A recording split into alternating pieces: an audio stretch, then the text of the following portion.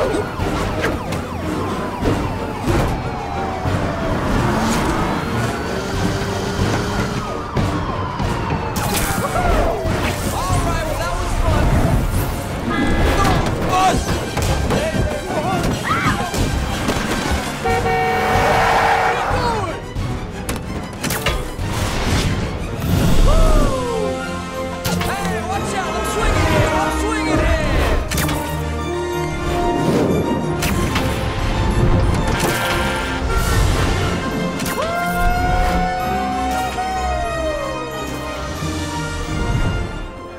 So, 38 of New York's finest versus one guy in a unitard.